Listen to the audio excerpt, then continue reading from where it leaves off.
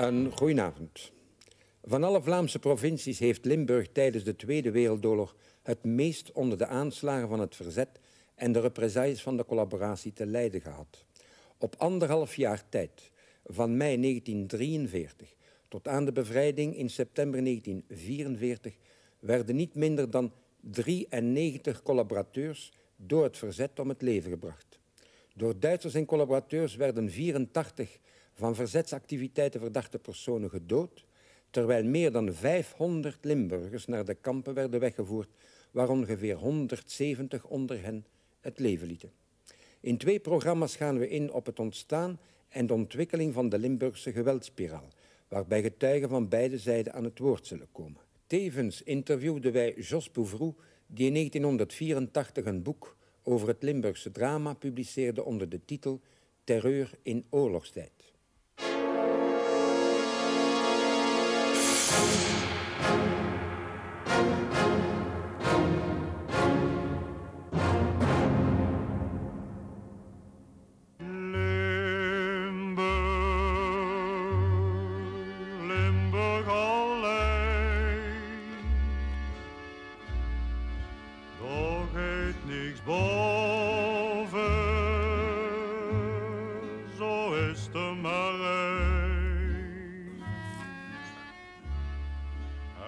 In 1940 was de provincie Limburg de dunst bevolkte en meest landelijke der Vlaamse provincies.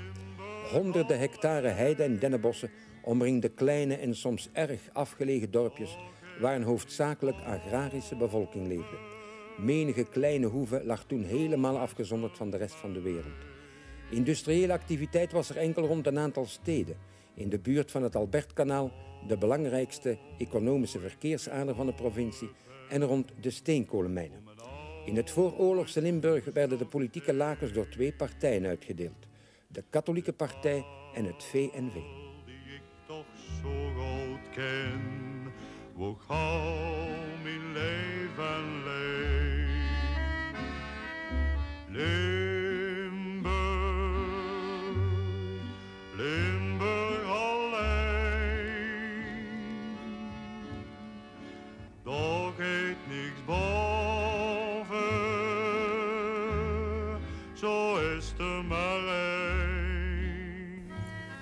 Het is ongetwijfeld zo dat de VNV al van voor de oorlog in de provincie Limburg toch een vrij belangrijke machtsfactor was. Hè. Als je de verkiezingen nagaat, de laatste verkiezingen van voor de Tweede Wereldoorlog, die van april 1939, dan constateer je dat uh, één op vier Limburgse kiezers voor het eh, VNV stemde.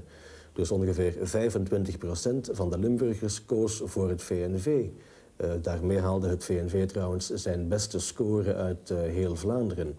De, het VNV was zeer, zeer sterk in Limburg. En wanneer men het aantal, wanneer men, uh, de, het aantal stemmen behaalt door het VNV en de toenmalige katholieke partij bijeentelde, dan kwam men al gauw tot een totaal van geloof ik 85 procent.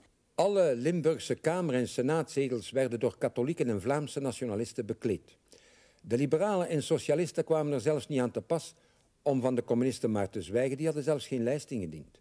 Deze sterke aanwezigheid van het VNV in Limburg zal zwaar haar stempel drukken op de hardheid en de verbetenheid van de strijd in deze provincie, zodat ze zich ook daardoor van de andere Vlaamse provincies onderscheidt.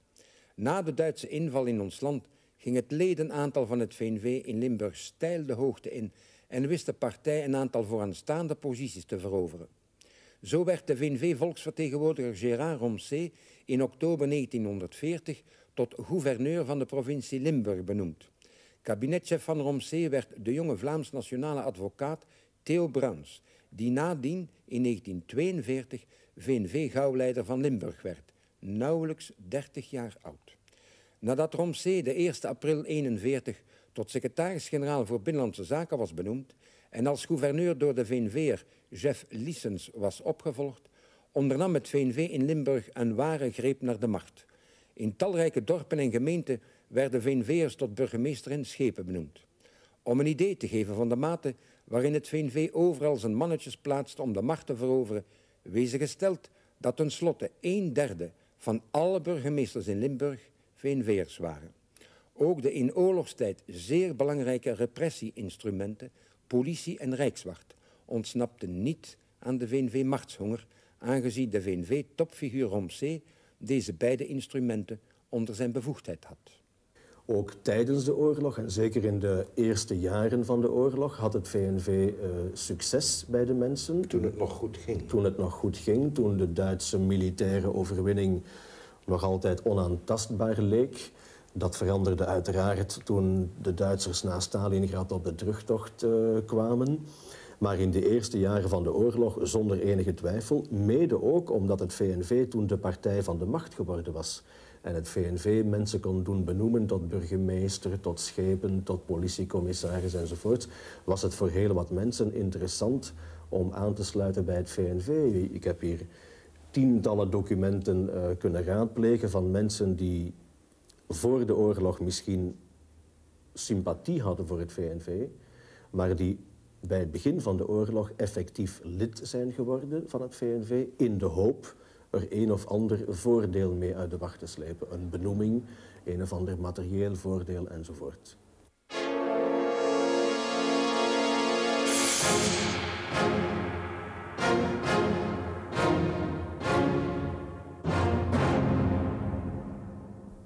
Door het kiezen van de zijde van de bezetter maakten de collaborateurs, in Limburg hoofdzakelijk VNV'ers, zich alles behalve geliefd in de ogen van de grote meerderheid van de bevolking.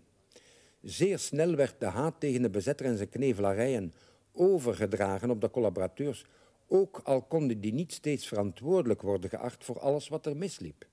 Uh, Limburg is een, uh, was een agrarische provincie en is dat nu hoofdzakelijk nog. En desondanks uh, was er heel spoedig tekort aan voedsel. Aardappelen, brood, vlees, dat hier voor de oorlog in overvloed aanwezig was. En de mensen begrepen dus niet, of ze begrepen maar al te goed, hoe het kwam dat ze nu opeens uh, begon begonnen honger te lijden. Dan was er vanaf de eerste winter het gebrek aan kolen. De mensen hadden niet alleen honger, maar ze zaten ook in de kou.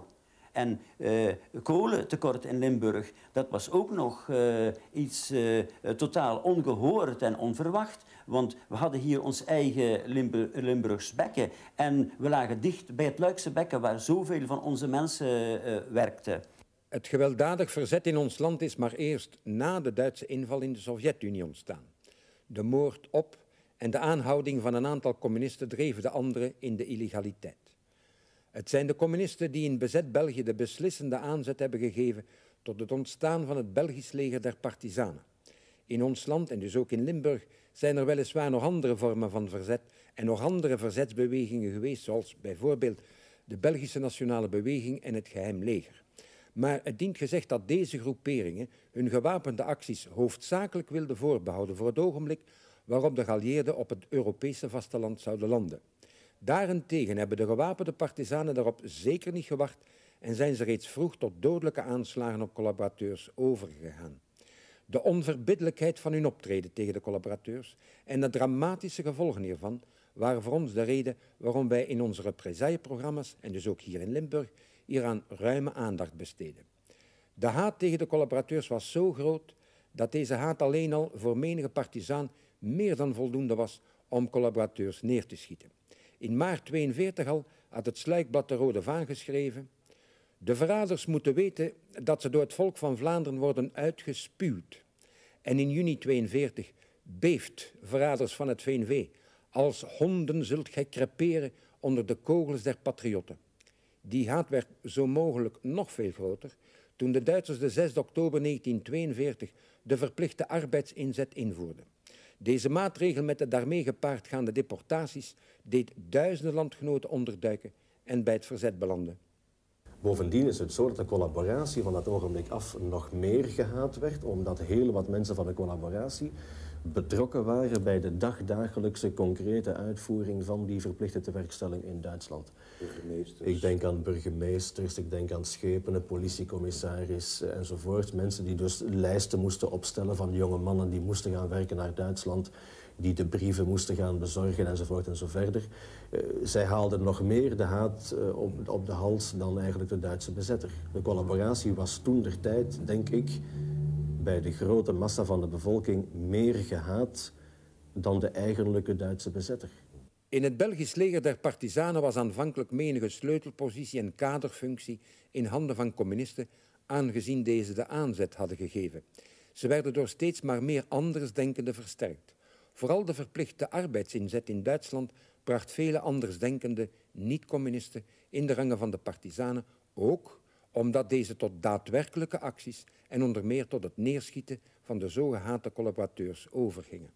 Het Belgisch Partizanenleger en onder andere dus hier, hier in dit dorp en hier uh, in Haspengouw konden wij rekenen op de steun van alle gezindheden, uh, katholieken, uh, liberale, socialisten, communisten. Iedereen die was ons goed gezind. en vooral vanaf 41, 42 en zo verder dan. Hè. En zodanig dat wij konden rekenen, bijvoorbeeld in Ulbeek, daar was een pastoor of kapelaan, uh, heette, hij heette Boele. Wel, uh, die werkte met ons mee. Die verspreidde zelfs onze vluchtschriften van onze clandestine pers. In, uh, ergens in Vechmaal, geloof ik, of in Veulen. In Veulen was een pastoor die ons een ronio-apparaat doorgespeeld heeft. En ik geloof zelfs een revolver. Die zei, voilà, hier is een revolver, hier is een ronio-apparaat voor de clandestine pers. Dat was een pastoor. Door aanslagen te plegen op collaborateurs troffen de partisanen eveneens de Duitse bezetter. Want door onrust te zaaien werd de door de Duitsers zo gewenste Ruhe- und Ordnung-politiek grondig verstoord. Wegens de aanslagen door het verzet trad de bezetter nu en dan repressief op doordat hij gijzelaars deed fusilleren.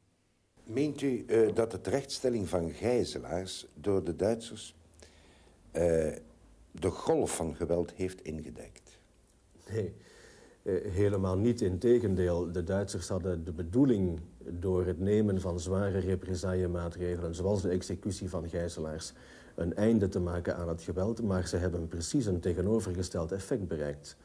Eh, de KP, de, de communisten bijvoorbeeld, eh, schreven in hun illegaal blad De Rode Vaan, ik citeer, de communisten bewenen hun doden niet, ze wreken ze. Met andere woorden, de executie van gijzelaars gaf nieuw voedsel aan de mensen van het gewapend verzet om nieuwe aanslagen te plegen. En in plaats van uh, dat geweld in te dijken, hebben de Duitse tegenmaatregelen eigenlijk een, een, een nieuwe escalatie van het geweld in de hand gewerkt.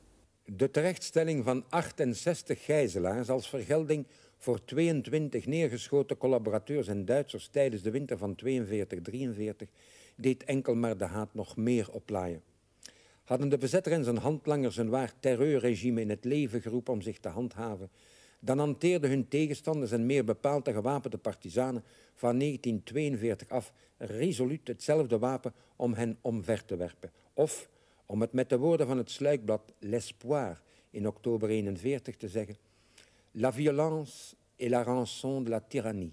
Het geweld is de losprijs van de tirannie. De geweldspiraal die door de Duitse inval in mei 40 in gang was gezet, was niet meer te stuiten en zou genadeloos tot de laatste dag van de oorlog doordraaien.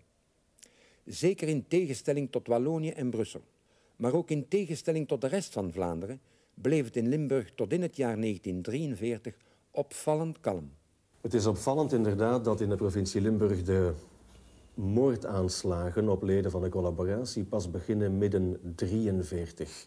Uh, bijna drie volle jaren, om zo te zeggen, na de capitulatie van het Belgisch leger op um, 28 mei 1940. Dat heeft volgens mij er ongetwijfeld mee te maken dat uh, de communistische partij, die toch denk ik aan de basis lag van de gewapende partisanen, in de provincie Limburg al van voor de oorlog bijzonder zwak stond. Eigenlijk op Tongeren in het zuiden en op enkele gemeenten in, in, in de mijnstreken na had de KP in Limburg uh, weinig te betekenen. Het moet bij gevolg voor de initiatiefnemers van de gewapende partisanen bijzonder moeilijk zijn geweest om in die provincie Limburg mensen te vinden die actief in het gewapend verzet uh, stonden. En daarom denk ik dat het zo lang heeft geduurd eigenlijk voordat het gewapend verzet uh, goed op gang begon te komen in de provincie Limburg. Uh, de evolutie is in Limburg niet precies dezelfde geweest dan in andere streken en in andere provincies van, van België en vooral van het Vlaamse land. En dat is vooral toe te schrijven aan de nabijheid van Zuid-Limburg, waar het Limburgse verzet gestart is, de nabijheid van het Luikse mijn- en industriebekken.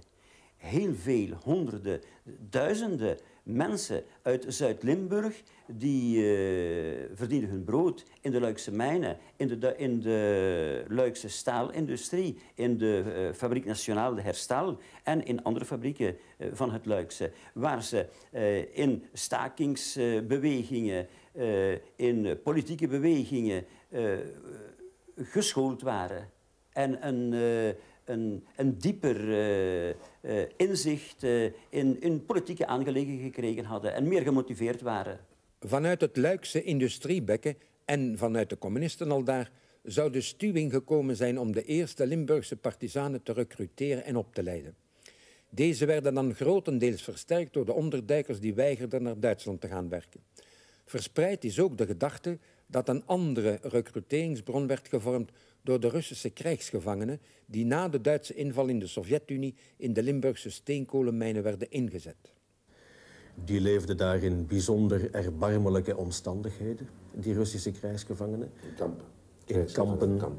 Zij moesten om te beginnen al bijzonder zwaar werk doen, gevaarlijk werk doen, dus ondergronds.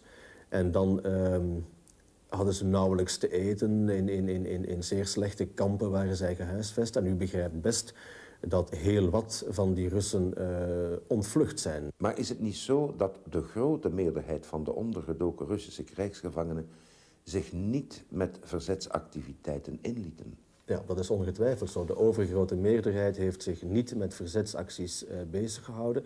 Een kleine minderheid wel, die zowel in Limburg actief was in het verzet als ook in Leuven bijvoorbeeld. Heel wat Russen zijn uh, via Limburg uh, terechtgekomen in de streek van Leuven, waar zij wel actief waren in het verzet. Maar in Limburg heeft de overgrote meerderheid van die Russische krijgsgevangenen zich niet bezig gehouden met uh, verzetsacties. Zij leefden in bossen, maar natuurlijk stelde zich dan het probleem van het overleven. Zij moesten aan voedsel geraken, zij moesten aan kleding geraken enzovoort. En in vele gevallen hebben die Russische krijgsgevangenen bijna waren zij bijna verplicht, als het ware, om overvallen te plegen op afgelegen boerderijen, om aan eten te geraken, aan kleding te geraken enzovoort. Met andere woorden, hun aanwezigheid heeft het klimaat van, laten we zeggen, onveiligheid in de provincie uh, vergroot. Niet overal en niet altijd moesten de ontsnapte Russen overvallen plegen of boeren onder druk zetten, wat blijkt uit het wedervaren van twee van de vier zoons van het gezin Nulens uit Alken. De 18e maart 1943 werden Eugène en Hubert Nulens door een nieuwe orde Rijkswachter aangehouden.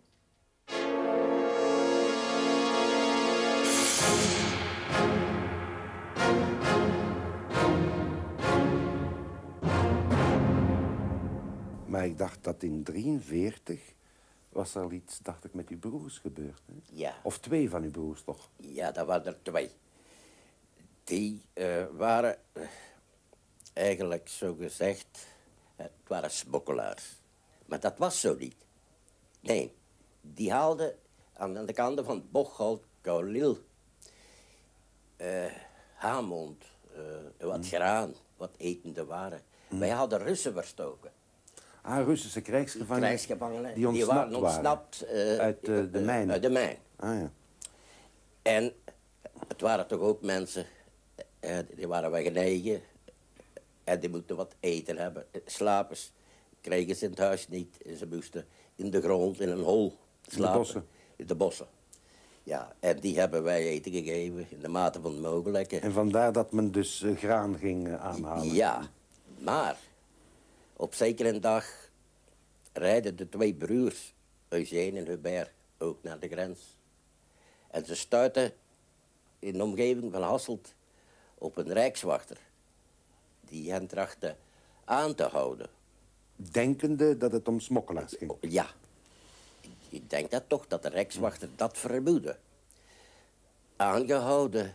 Ja, die jongens die gaven hun pas gewillig af aan de rijkswachter. Kerkhoffs, zo zal ik hem noemen. En van uh, welke soort rijkswachter was die? Ja, ze hebben mij ach, achteraf uh, laten weten... de andere rijkswachters van Hasselt, daar waren we goed bevriend bij. He, die steunden ons ook met inlichtingen. Daar hebben wij vernomen gehad dat het een Duitsgezinde rijkswachter was. Hm. En die had de broer rijkswachter ook in Hasselt. Dat was eveneens, maar een nieuw rijkswachter. Van de nieuwe, van tijdens de oorlog. van tijdens de oorlog. Dat was juist.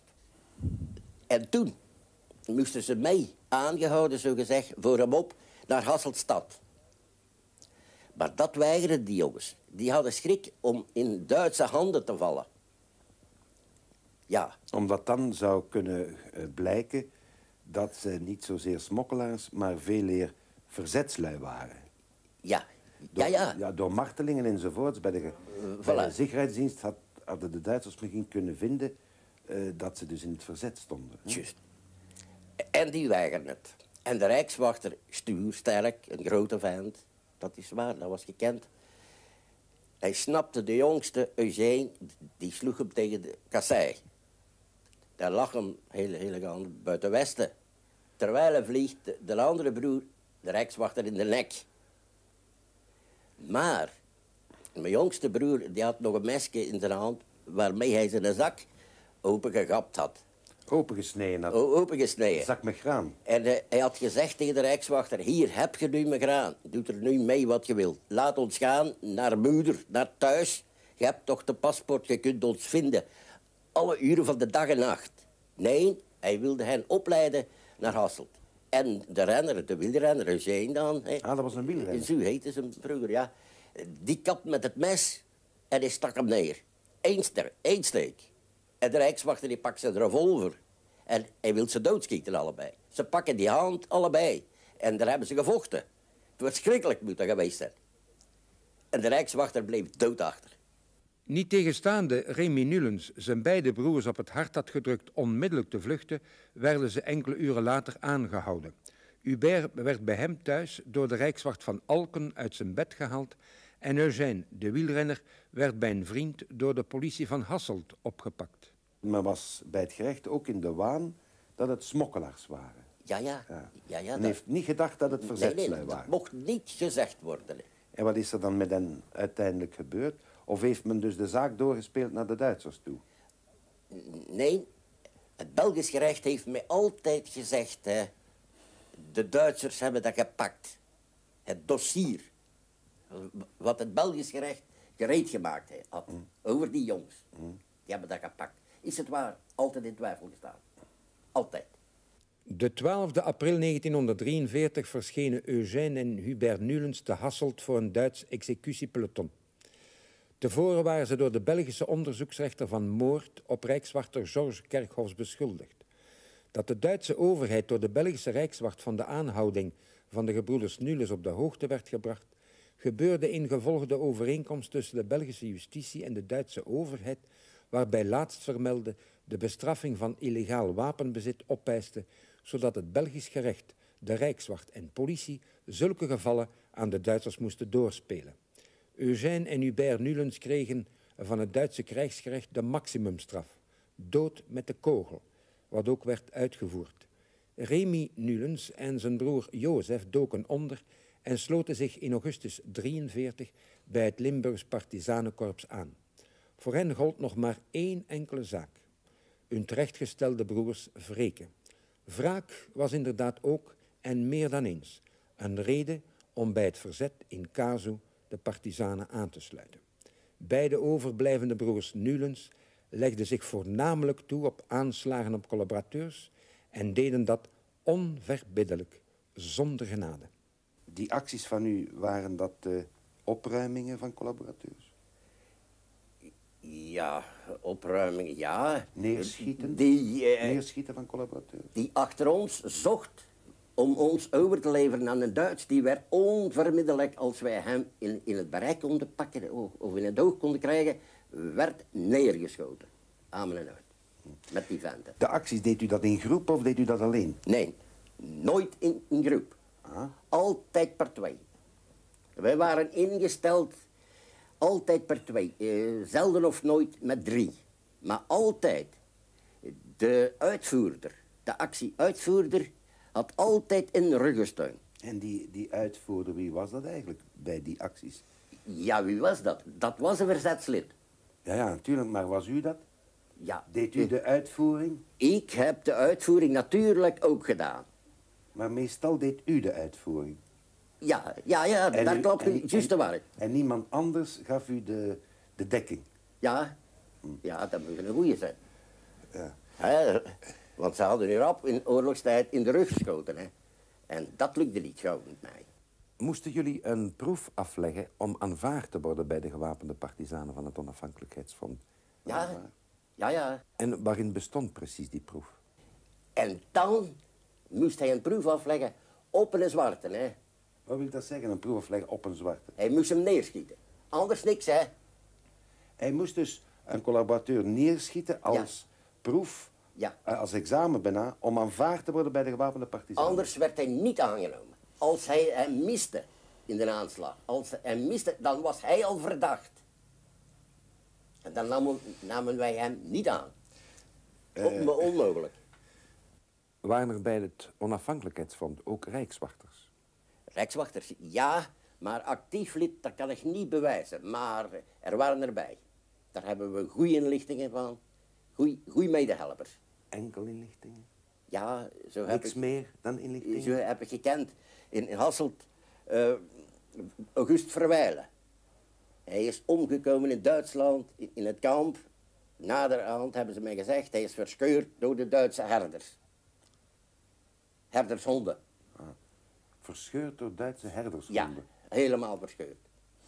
Niet Eh, gefusilleerd, hè, maar verscheurd. Ik vroeg u eigenlijk, meneer Nulens, of die rijkswachters u alleen inlichtingen bezorgden.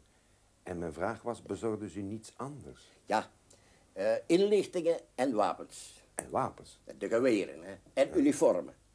En uniformen? Ja, uniformen. Zo, uniformen. Wat konden jullie daarmee aanvangen? Oh, ik, ik, ik heb het zelf gedragen. Ja, en het, was zo gemakkelijk om een aanslag te plegen.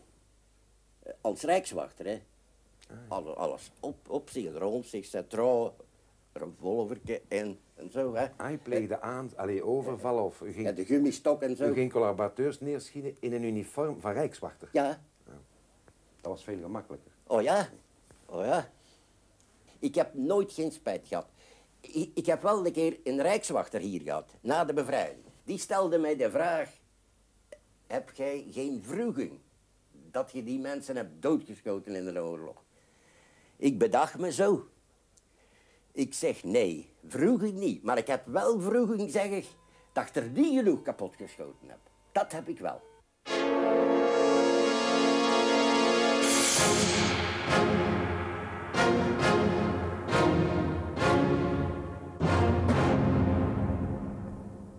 De eerste collaborateur die in Limburg onder de kogels van het verzet viel, was de 31-jarige Jozef Zwerts. Hij werd de 27 mei 43 te Diepenbeek bij Hasselt voor zijn woning door twee partizanen neergekogeld. Zwerts was lid van het VNV en van de Zwarte Brigade, de geuniformeerde militie van het VNV. Hij vormde het begin van de eerste golf van aanslagen op leden van de collaboratiebewegingen, een golf die liep van mei 43 tot januari 44 en waarbij 36 slachtoffers vielen, onder hen niet minder dan 23 VNV'ers. Het viel geweldig op tijdens de bezetting dat het over het algemeen eenvoudige mensen wa- waren, dus simpele leden, dus zonder hoge verantwoordelijkheid, die werden neergeschoten door het gewapend verzet. Dat viel op. We kunnen zeggen dat wekelijks twee, drie tot vier personen werden vermoord. En dat allemaal simpele mensen. Het is te zeggen, geen hogere leiders, allemaal mensen, gewoon VNV'ers, eh, burgemeesters van kleine gemeentjes, eh, leden van de Zwarte Brigade, eh, zelfs onderwijzers enzovoort, gewoon mensen. De vooraanstaanden ontsnappen altijd. De vooraanstaande, waarom? Wij hebben gedacht, wij dachten toen dat misschien de reden daarin lag dat als men een vooraanstaande zou neerschieten, dat men de, de gewapende verzetslui misschien dachten dat er dan eerder dus een antwoord zou komen. Misschien van de Duitse overheid of ik weet niet wie. In ons land vormden de aanslagen op personen slechts een geringe minderheid van alle verzetstaden. Er zijn veel meer gevallen van sabotage en overvallen om aan wapens, munitie, ransoneringszegels en geld te geraken dan aanslagen op personen geweest. Ik spreek nu voor in het algemeen in ons land. Maar was dat ook zo in Limburg? Wel, die sabotage was er ongetwijfeld. Uh, er zijn ook overvallen geweest om ransoneringsregels te krijgen enzovoort. Maar het is toch opvallend, en daar onderscheidt zich Limburg een beetje van de rest van Vlaanderen, dat de gewapende partizanen, uh, en dan citeer ik nu Louis van Brussel in zijn boek Partizanen in Vlaanderen, een activiteit in één enkele richting ontplooide, namelijk het aan de lopende band liquideren van mensen van de collaboraties. Louis van Brussel noemde trouwens de Limburgse partizanen een speciaal soort partizanen, omdat zij zo specifiek zich bijna uitsluitend, zou je bijna zeggen, toelegden op dus het uh, de neerschieten van mensen van de collaboratie. Heeft u daarvoor een verklaring? Op de allereerste plaats en de hoofdreden, denk ik, is dat de collaboratie uiteraard in Limburg even gehaat was als in de rest van Vlaanderen, zonder de minste twijfel. De collaboratie heeft ook uh, hatelijke, zeer onpopulaire dingen gedaan, net zoals in de rest van Vlaanderen. Maar je constateert toch één groot verschil, dat bij de mensen die de aanslagen uitvoerden op de collaboratie in Limburg dan, het politieke pijl, de intellectuele geschooldheid eigenlijk uh, bijzonder laag lag. Men het verzet beschikte niet over voldoende kaders om een degelijke politieke leiding te geven aan de gewapende partisanen. Vandaar de, de onderschatting van de betekenis van de economische sabotage. Ja. En uh, vandaar de beperking tot neerschieten van mensen, wat uh, uh, zou je zeggen voor mensen die eenvoudiger zijn voor de hand ligt. Dat, Dat men eerst mensen neerschiet, collaborateurs neerschiet, in plaats van te denken aan het belang van economische sabotage. Dat heeft er ongetwijfeld mee te maken, trouwens ook in de documenten van de partizanen zelf, wanneer men een soort uh, status questionis opmaakt van de partizanen in kwestie, dan zie je daar herhaaldelijk bij staan politiek weinig geschoold. Uh, men beschikte voor de oorlog in Limburg eigenlijk praktisch niet over een goed uitgebouwde partijstructuur van een, van een, van een linksgerichte partij. Uh, ook de socialisten hadden voor de oorlog op het zuiden van Limburg na nog weinig te betekenen.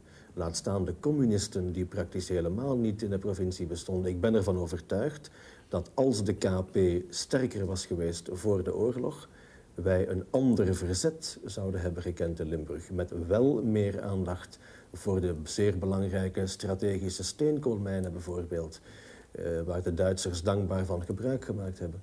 Op de tweede plaats is het ongetwijfeld zo, ook een typisch Limburgs fenomeen, dat er een soort verstrengeling is geweest, als je dat zo kan noemen, van het politieke geweld en het criminele geweld. Ik bedoel het louter banditisme. Er waren in oorlogsjaren in de provincie Limburg een zestal grote bandietenbenden die actief waren, met overvallen allerhande, moorden ook. En nogal wat van de mensen van die bende hadden op een of andere manier banden met sommige verzetsgroepen. Dat is een tweede typisch Limburgs iets. Ten derde mag je ook niet vergeten dat er in die zeer kleine Limburgse dorpjes, die zeker in oorlogstijd nog meer afgesneden waren van, van, van, van de rest van het land. Ieder leefde een beetje in zijn eigen gehucht of in zijn eigen dorpje heel wat uh, vetes bestonden. Heel wat uh, familiale vetes, persoonlijke vetes enzovoort. En vandaar persoonlijke afrekeningen. En vandaar persoonlijke afrekeningen. De oorlogssituatie is een uitstekende gelegenheid om rekeningen te vereffenen onder het mom van collaboratie tegen verzet of verzet tegen collaboratie. Als je sommige gevallen nagaat, dan zie je eigenlijk dat aan de basis van moordpartijen, zowel bij de collaboratie als bij het verzet, eigenlijk familiale of persoonlijke vetes liggen.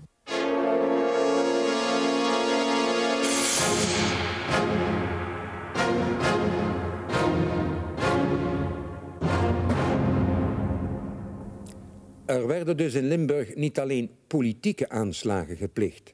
In de winter van 42-43 kende Limburg een ongehoorde golf van diefstallen met inbraak en zelfs doodslag. Boerderijen werden bij voorkeur s'nachts overvallen en geplunderd. Bewoners die weerstand boden werden neergeschoten of gefolterd om hen te doen bekennen waar hun bezittingen verborgen zaten. Ook de Belgische ordendiensten bleven niet gespaard. Zo werden alleen al in 1943 in Limburg vier rijkswachters en twee politieagenten gedood. In uw boek heeft u het herhaalde malen over diefstallen, overvallen en zelfs roofmoorden op afgelegen landbouwbedrijven, op afgelegen landbouwers. Sommige gevallen worden in detail behandeld. Behandelt u die gevallen omdat u een verband ziet met het verzet? Nee, zeer zeker niet. Ik maak een onderscheid ook in hoofdstukken tussen de politieke aanslagen, om het zo te noemen, en dan het gewone criminele banditisme. Het is wel zo dat na de oorlog gebleken is dat een aantal mensen van het verzet zich ook, uh, ook betrokken waren bij gewone overvallen, roofovervallen, criminele acties. Uh, dat is ongetwijfeld zo. Maar uh, die golf van banditisme die Limburg ook overspoeld heeft in de oorlogsjaren, die heeft er zeker toe bijgedragen om dat klimaat van onveiligheid wat er al was, uh, nog groter te maken. Hè? Ja, want van de 1 januari 41 tot augustus 43 waren er in Limburg alleen al meer dan 10.000 roofovervallen, dus 10 per dag. Maar dat kan dus voor meer dan 10.000 roofovervallen toch niet het geval zijn dat er een band bestaat met het verzet. Uiteraard niet. Er waren uh, in heel de oorlog door in de provincie Limburg zeer veel uh, diefstallen, aanrandingen, overvallen, roofmoorden ook waar uh, het verzet te zien hadden totaal, totaal niets mee te maken had, waar de verzetslui niets mee te maken hadden, zonder enige twijfel. Dat er tussen uh, verzet en banditisme in Limburg tijdens de bezetting soms moeilijk een scheidingslijn viel te trekken, kan bijvoorbeeld blijken uit de overval die de 22 augustus 43 door niet minder dan 15 gewapende partizanen in de Oude Bareel, een groot huis op de grensscheiding van Lanaken en Zutendaal, op het gezin Geusens werd gepleegd. Ik was op mijn kamer aan het studeren en toen hoorde ik gestommel beneden en op de trap. Ik gooide mijn deur open en toen zag ik mijn vader, mijn drie broers en mijn zuster uh, bovengebracht worden, bovengeleid worden, onder bedreiging van revolvers door twee mannen die niet gemaskerd waren en uh, die ook niet van, uh, die ik niet kende als mensen van uh, Zutendaal. En mijn vader en mijn drie broers en mijn zuster werden daar op een rij geplaatst. En ik trok mijn deur dicht. Ik sloot mijn deur en ik liep naar het raam om hulp te roepen. En toen zag ik twee mensen daar beneden staan op het plein voor het huis. En die bedreigden mij met een revolver. En een van hen die loste een schot om mij af te schrikken. Maar u had om hulp geroepen. Is er dan niemand komen opdagen? Er is niemand komen opdagen omdat de mensen bang waren. Want uh, die overvallers, die hadden uh, de mensen aangesproken, die waren in de tevoren, huizen... Tevoren, vlak tevoren dus. Vlak, vlak tevoren? Vlak tevoren. Die hadden de mensen aangesproken en die hadden een verboden van buiten te komen. En die hadden ook de telefoonlijn van de mensen afgetrokken. Hebben ze u ook uit uw kamer gehaald? Ze hebben dan de deur van mijn kamer ingestampt. En ze hebben mij ook in de rij gezet met mijn vader, mijn drie broers en mijn zuster.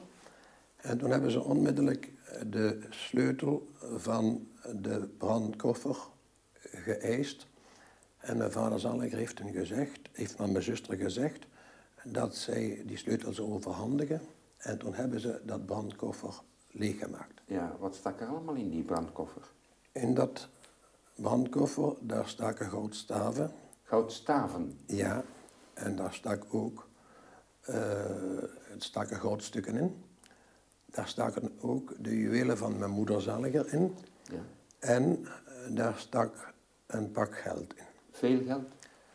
Ik denk het wel. Mijn vader, uh, die was dus be bezig in de Landbouw- en Voedingscorporatie. Ja. En die moest regelmatig uitbetalen aan de boerenmensen die vee hadden die geleverd, vee hadden geleverd mm -hmm. in Bree in het slachthuis. Mm. Vandaar dat er heel wat geld aanwezig was. We hadden thuis een café. En mijn vader Zaliger voor de oorlog reeds was veehandelaar. En tijdens de oorlog werd hij aangesteld door de Landbouw- en Voedingscorporatie samen met mijn oudste broer om voor de vleesverdeling te zorgen in Noord-Limburg vanuit het slachthuis in Bree. Hebben ze nog andere zaken gestolen dan dat goud en eh, dat vele geld?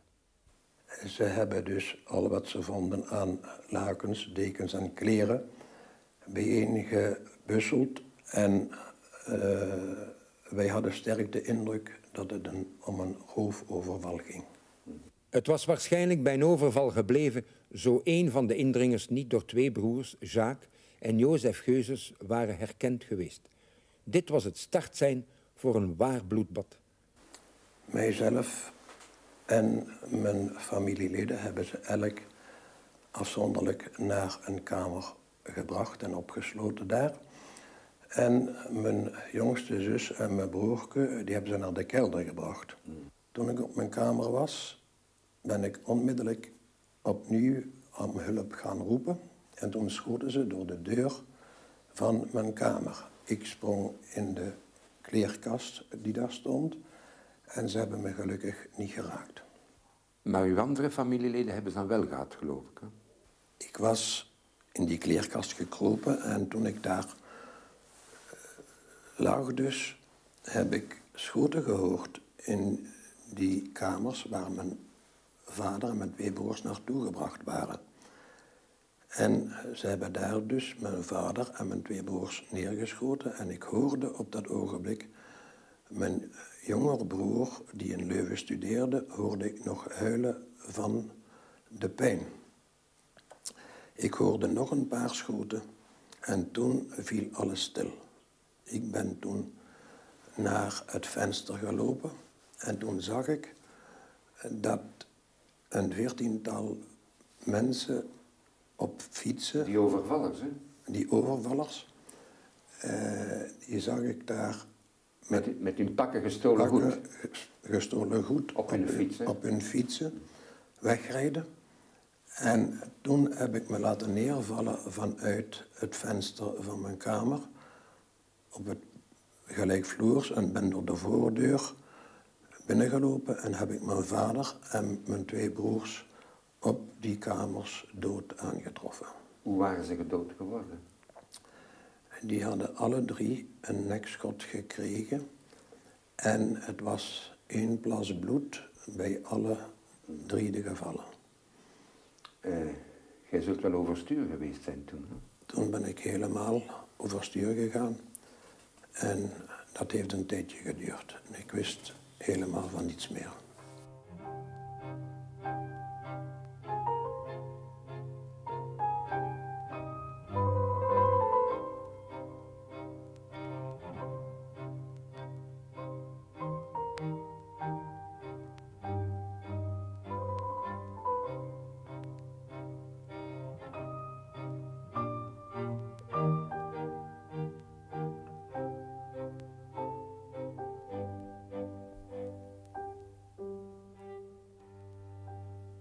Leider van de overval op het gezin Geuzens was de 33-jarige adjunct korpscommandant en medeoprichter van het Limburgs Partizanenkorps Armand Moureau, die de 10 september 43 door Belgische rijkswachters te Kortesem werd aangehouden.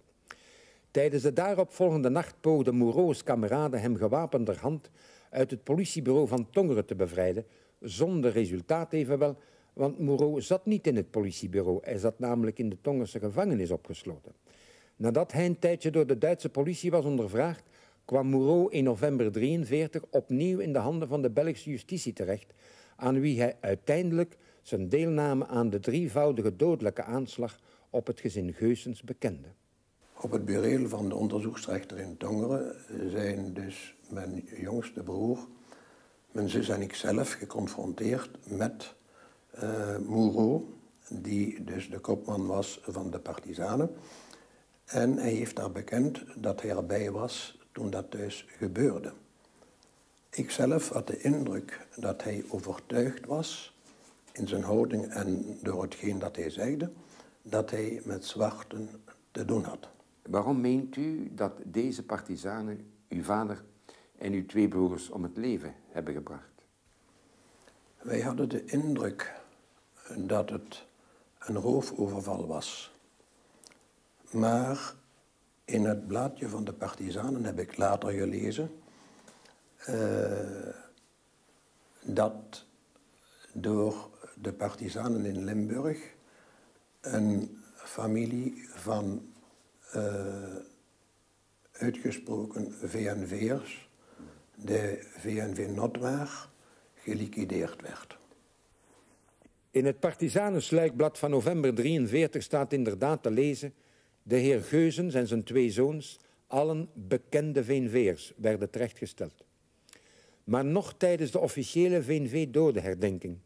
nog in de speciale VNV-brochure over de zogeheten terreurslachtoffers in Limburg... was er sprake van de familie Geusens.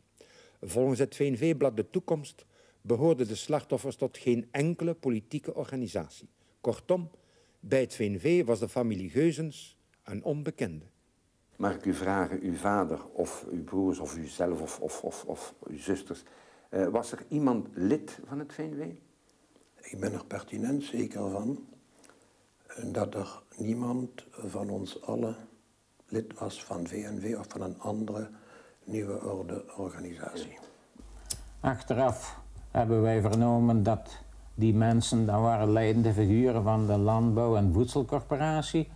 En dat uh, dat misschien een reden zou kunnen geweest zijn van hun dood door iemand die links of rechts moeilijkheden met hen gehad had, met voedsellevering of weet ik veel. Mm -hmm. Maar uh, die waren leidende figuren in de Land- en Bouw- en Voedselcorporatie. Mm -hmm. En die landbouwcorporatie, dus een, een, een, instelling van nieuwe orde tijdens de oorlog, had bij de bevolking wel de naam en de faam om ook uh, zwart te zijn. Met andere woorden, mensen die met de landbouwcorporatie te maken hadden, werden al eens makkelijk door de mensen ook als zwarten uh, bestempeld.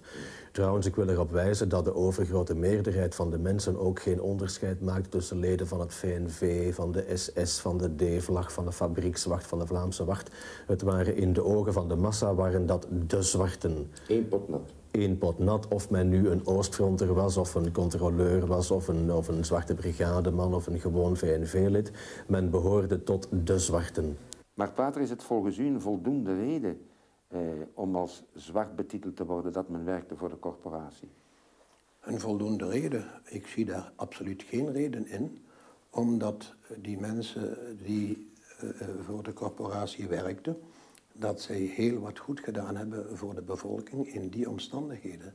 De mensen moesten eten en zij hebben daarvoor gezorgd. Wellicht werd het gezin Geuzens pas achteraf door de partizanen als notoire VNV'ers bestempeld om al zo de drievoudige dodelijke aanslag te kunnen rechtvaardigen.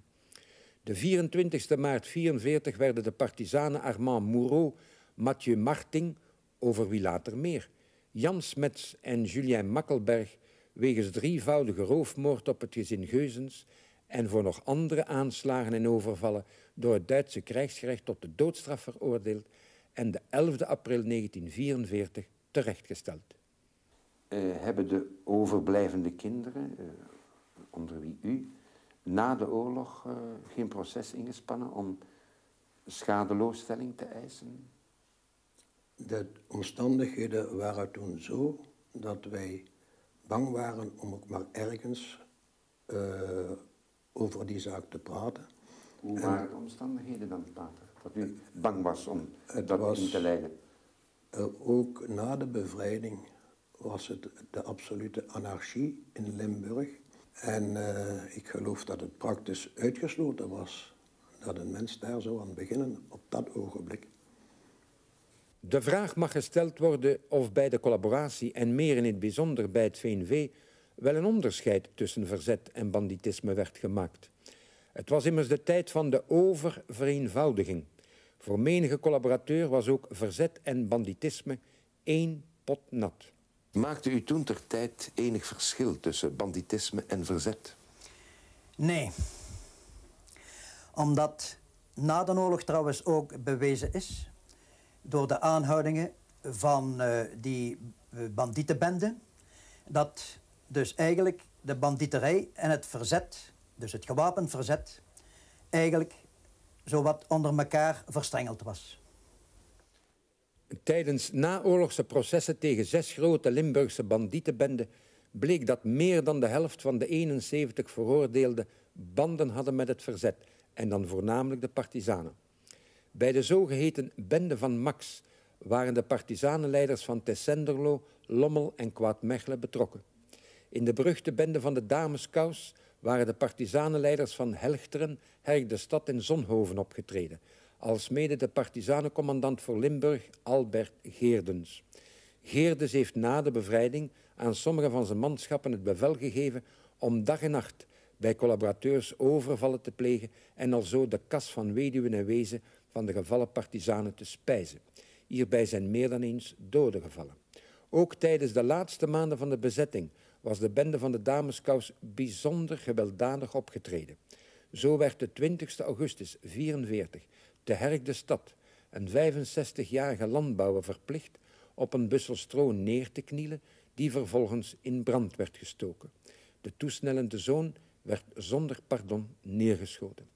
In verband met het rechtstaan van deze na de oorlog door het Belgisch gerecht vervolgde partizanen, had de krant het Belang van Limburg het over, en wij citeren, het blootleggen van witgekalkte partizanengraven die van binnen niets anders dan rotheid en verderf verborgen, tot zover tenminste het Belang van Limburg.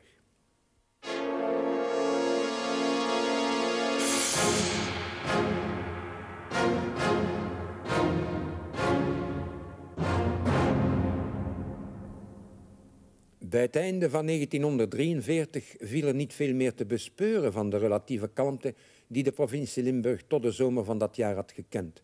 Van mei tot november 1943, in zes maanden tijd dus, waren 30 aanslagen uitgevoerd, waarbij 19 doden en 14 gewonden vielen. Onder die 19 doden waren er 12 VNV'ers. In december 1943 bereikte de golf van aanslagen een hoogtepunt toen zelfs in nauwelijks één maand tijd veertien personen werden gedood. Onder hen waren tien VNV'ers. Zulks veroorzaakte begrijpelijkerwijze grote onrust en verbittering in de rangen van deze partij, vooral omdat nu al het geruime tijd werd vastgesteld dat nog de Duitse, nog de Belgische overheid de VNV-leden en sympathisanten in bescherming namen. Maar meneer, werd er dan door de Duitsers en, en, en, ook door de Belgische Rijkswacht en de Belgische politie niet opgetreden tegen de aanslagen op mensen uit de collaboratie? Door de Belgische Rijkswacht en door de Belgische politie werd hoegenaamd nooit opgetreden tegen die aanslagen. En hoe verklaart u dat? Er waren er zeer zeker verschillende... Bij de Rijkswacht, bij de Rijkswacht en de politie... die volledig akkoord waren met die aanslagen. Anderzijds waren er waarschijnlijk ook enkele die die uh, personen niet wilden uh, arresteren, omdat ze die mensen moesten overgeven aan de Duitsers, omdat er wapens gebruikt waren. En ten derde, denk ik, dat zij van de andere kant bang waren voor represailles van het gewapend verzet. De Duitsers, ja, die lieten het toch gebeuren. Die lieten toch het terrorisme gebeuren. Waar hebben ze zich uh, ingezet om ons te beschermen? Zij hadden trouwens geen tijd meer, geen mensen en gemiddeld. Het zei, als het ging over een, hun eigen mensen, als er een Duits werd neergeschoten, dan was het natuurlijk heel belangrijk. Trouwens, uh, heel wat Duitsers liepen ook niet zo hoog op met collaborateurs. Er waren die daar niet hoog mee opliepen, terwijl anderen zeiden van... God ja, zolang de collaborateurs worden neergeschoten en wij buiten schot blijven. Zoveel te beter, hè? Deze vaststelling werd ook door de VNV-gauwleider voor Limburg, Theo Browns, in een nota vooropgesteld die hij de 11 december 1943 aan de Duitse Oberfeldkommandantuur te Hasselt overhandigde.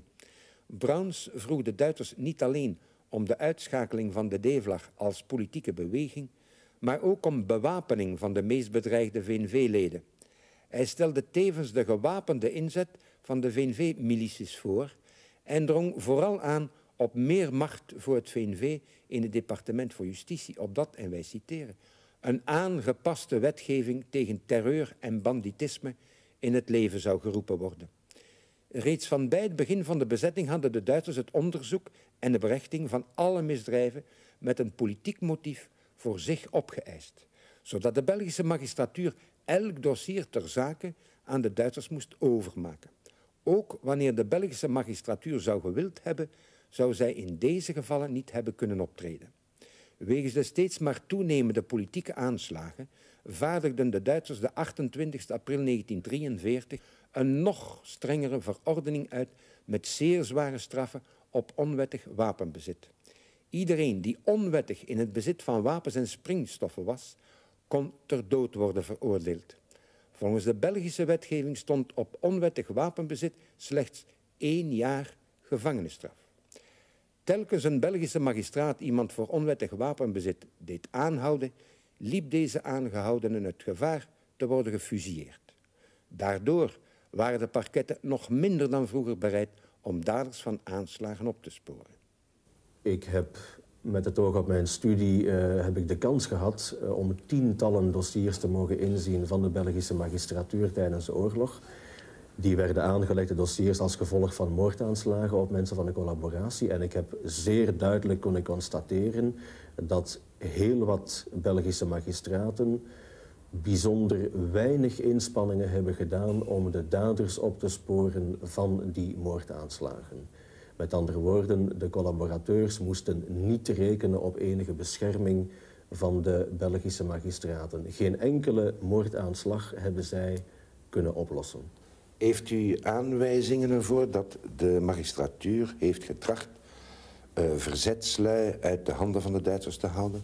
Ja.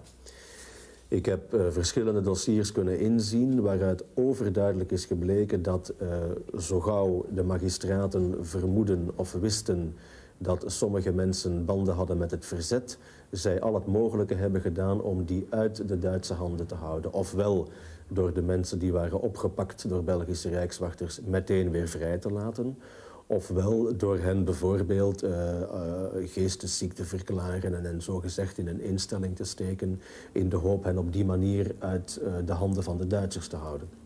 Vindt u het niet gepast dat de Belgische justitie al het mogelijke heeft gedaan om verzetsmensen uit de handen van de bezetter te houden door zich passief te gedragen of uh, aangehouden verzetslui in bescherming te nemen. Het was een zeer nobel initiatief van de magistraten om verzetsmensen uit Duitse handen te houden, want die zouden zonder de minste twijfel onmiddellijk uh, gefusilleerd zijn.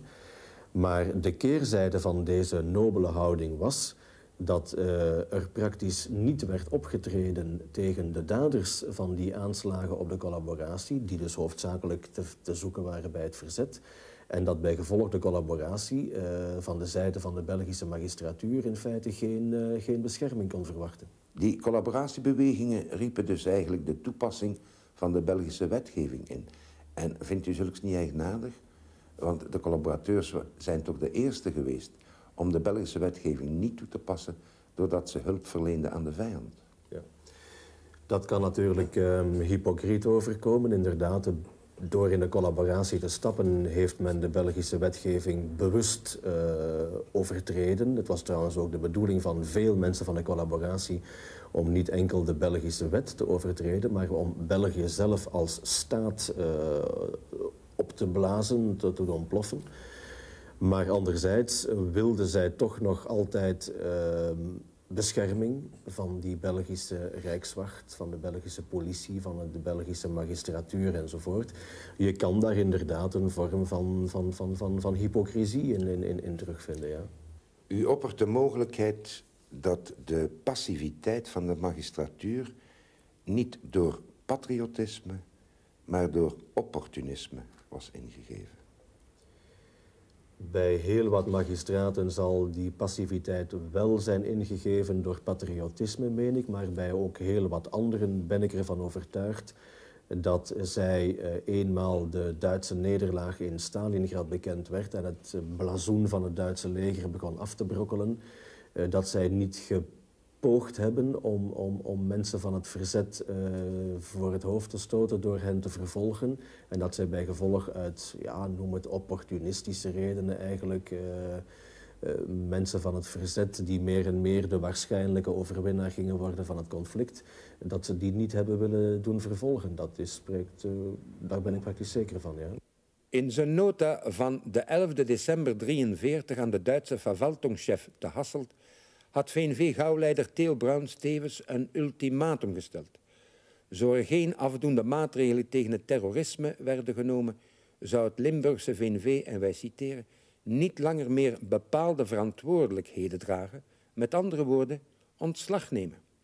Een vanzelfsprekend verontruste VNV-leider Elias kwam de 22 december 43 in hoogst eigen persoon naar Hasselt, net op het ogenblik waarop daar het bericht binnenliep dat een persoonlijke vriend van Browns was neergeschoten.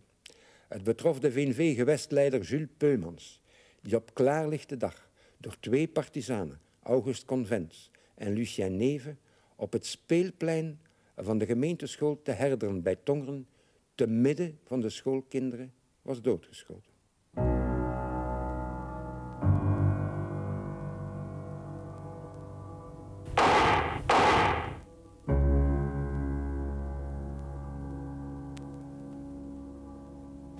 Heren uh, Renaat en uh, Willy Peumans. Jullie zijn uh, de beide zoons van vader Peumans... die hier in de gemeenteschool van Herder reeds van voor de oorlog... en ook tijdens de bezetting onderwijzer was. Wat heeft er zich precies in december 43 voorgedaan? Wel, mijn vader kwam langs de poort binnen omstreeks kwart na één... toen hij ongeveer hier kwam kwam een persoon met een bril en alpenmuts op hem achterna. Hij kwam tot op ongeveer een halve meter van hem, ging zijn binnenzak in en trok een revolver en loste twee schoten in mijn vader zijn rug. En waar is uw vader uh, precies neergeschoten geworden? Hier zo. Ah. En is hij dan uh, neergevallen?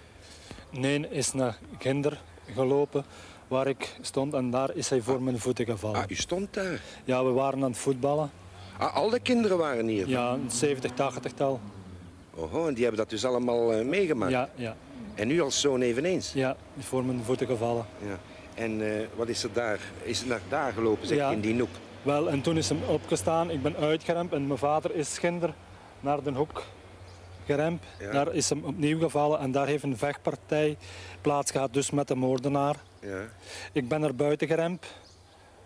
Dus langs deze poort. Ja. Langs de poort. Ja. Bij het buitengaan lagen twee fietsen ja. voor die brier. En tegen, aan de overkant van de straat stond er een tweede persoon met een mitraillette die in het schieten wat die schoot over de brier weg. Ja, over de, ja, over, over het poortje weg. weg. Over die, ja. Ah, ja. ja, ja. Uh. Uh, ik ben naar huis geremd. En later heb ik dus horen zeggen dat mijn vader langs deze deur naar binnen gestrompeld is. Oh ja. Wel, en toen hebben ze hem ginder achter in die plaats, lag hem op een matras. Eh, ik ben moeder gaan verwittigen, mijn broer. En die zijn naar hier gekomen met de fiets. Ik ben naderhand ook nog bijgekomen. Toen hebben ze mijn vader naar Tongeren gevoerd, dokter Jans en zijn zoon Joe. En mijn vader naar Tongeren gevoerd, waar hij omstreeks vier uur overleden is bij gebrek aan bloed. En uh, heeft men ooit uh, die moordenaar kunnen vinden of moordenaars kunnen vinden? Wel, er werden in de tijd veel namen genoemd, maar we hebben nooit niks concreets gehad. Men heeft nooit de identiteit kunnen vaststellen? Nee. nee. Uh, mag ik u vragen, dokter Peumans, Willy Peumans... wat had men aan uw vader, of wat hadden sommigen aan uw vader te verwijten... Voor zijn optreden tijdens de oorlog? Ja, wat men aan zoveel mensen verweten heeft. Hij was uitgesproken Vlaams gezind uh, van voor de oorlog. Was, was hij lid van een partij? Hij was lid van het VNV en was zelfs in de streek van Riemst dus de voorman van het VNV. Wat was zijn juiste functie in het VNV, hier in Riemst? Of dat gewestleider heette. Oh ja. En ehm, dus daarbuiten werkte hij ook nog voor De landbouwcorporatie of... Uh... Landbouw- en voedingscorporatie. Ja, zoiets. Had hij ooit uh, een uniform gedragen? Bijvoorbeeld van de Zwarte Brigade van het VNV? Nee. Er was geen aanleiding volgens u Wel, om hem neer te schieten? Niet. Er is dus dit gebeurd. Een van de toenmalige krijgsauditeurs die uh, gezegd zou hebben... Uh, ik was daar niet bij, maar dat is toch door betrouwbare mensen ons verteld... Ja, als Peumans uh, nu nog een leven zou geweest zijn, zou hij waarschijnlijk aangehouden hebben. Maar zou waarschijnlijk met een paar maanden bak ervan afgekomen zijn. Dus uh, wat men in dat verband, denk ik, algemeen suggereert... dat is mensen die vermoord werden, dat die toch wel verschrikkelijke dingen gedaan hadden. Ja, dat is dus iets wat hier ook nooit door iemand is gezegd geworden. Laat staan dat het waar zou zijn. Het is gewoon, men had een aantal mensen die in de kijker liepen... die dus een mening hadden die niet conform was met die van de meerderheid. Hè, dat zeer zeker. Dat was genoeg om een, een bepaalde dorpen hier, want de mentaliteit was dan niet precies progressief. Om, dus dat was genoeg om uh, ja, doodvonnis te krijgen. Hoeveel kinderen waren er in het huisgezin? We waren met vijven. Ja. Twee en, jongens en drie meisjes. En uh, wat heeft dat uh, teweeggebracht als jullie dat meemaakten? Wel, dat is, dat is, moeilijk te vertellen. Dokter. U is dokter. Uh, u heeft uh, al heel wat meegemaakt, vermoed ik, als dokter. Misschien kan u het vertellen. Tja. Het moet eens eens verteld worden, hè? Dacht u niet? Zeker, maar het is... Uh... Zeg het maar, dokter, want u schijnt te aarzelen. Ik aarzel helemaal niet. Ik probeer hem alleen maar te controleren.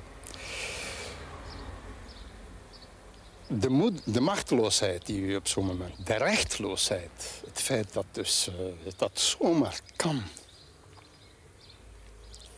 Dat ook nadien, sorry.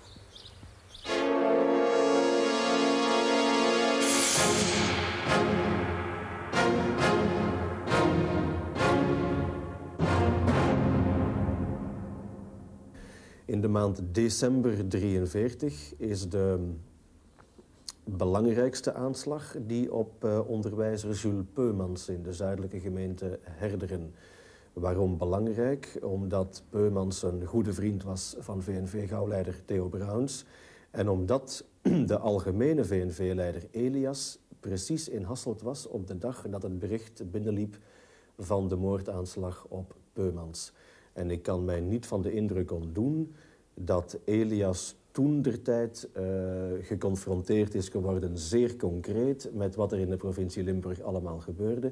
En dat de daaropvolgende repressiemaatregelen die Elias genomen heeft, mede uh, te wijten zijn aan het feit dat hij toen op dat moment precies aanwezig was in Hasselt. De dodelijke aanslag op onderwijzer Peumans bleef niet zonder gevolgen.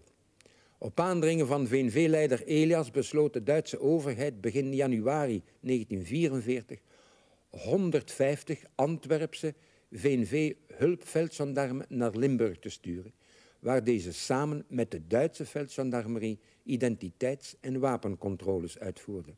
Was een gevolg van de brief die VNV-gauwleider Theo Browns aan de Duitsers te Hasselt gestuurd, waarin hij de Duitsers om de toestemming vroeg opdat eigen weerformaties van het VNV mochten ingezet worden. Ja, ik denk van wel. Dus de verbittering in VNV-kringen over die vele aanslagen, die vele dodelijke aanslagen, 36 doden in die eerste golf van aanslagen, was zo groot dat men de eigen militie waarover men beschikte, namelijk de Zwarte Brigade, en de eigen paramilitaire formaties, Wachtbrigade Vlaamse Wacht, wou gaan inzetten om dus uh, effectief mano militari, uh, mano militari te gaan vechten tegen de partisanen. Hoe verklaart u dat Browns dat verzoek rechtstreeks aan de Duitsers heeft gericht? Ja. Ik dacht dat het, een, uh, dat het VNV een autoritaire partij was, waarin de leider alles moest beslissen. Mm -hmm. Het was zo dat de top van het VNV, met name dus Elias, al enige weken aan het onderhandelen was met de Duitsers om die eigen formaties te mogen inzetten tegen het gewapend verzet. De Duitsers stonden daar zeer wantrouwig tegenover en zegden tegen Elias, Eh, als je eigen manschappen inzet, gaat de haat tegen de collaboratie nog groter worden en riskeert u nog meer aanslagen. Eh, dat was de Duitse stelling. Maar Elias heeft toen geprobeerd eh, met nieuwe argumenten aan te dragen enzovoort, om toch maar eigen, eigen militiemensen te mogen inzetten tegen het gewapend verzet. En uiteindelijk heeft Elias dan ook toestemming gekregen. En denk ik dat als gevolg van die Duitse toestemming, door eind december 1943, dat VNV-korps van hulpveldgendarmen vanuit Antwerpen naar Limburg is gestuurd om dus daar uh, wegcontroles te gaan houden, uh, op zoek te gaan naar mensen die, die wapens hadden enzovoort. Op het VNV-verzoek tot gewapende inzet van de eigen partijmilities was het Duits militair bestuur evenwel niet ingegaan. Wel werd op aandringen van VNV-leider Elias begin januari 1944 de beruchte SD-agent van Vlaamse afkomst Max Gunther met zijn echte naam Emile van Tielen naar Limburg gestuurd.